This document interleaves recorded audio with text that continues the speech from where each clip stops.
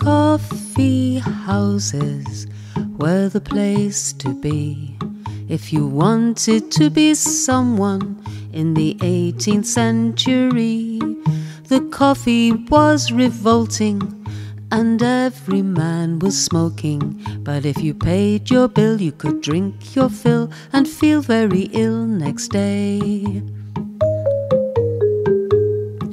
But if you were a woman, you were not allowed inside, lest you wore a pair of breeches and went in disguise.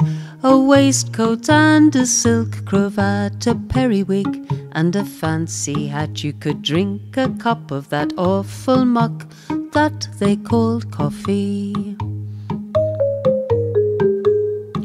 So why did they drink it when they could drink beer?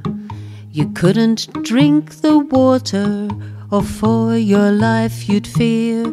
Coffee made you feel quite clever, though it tasted like old shoe leather.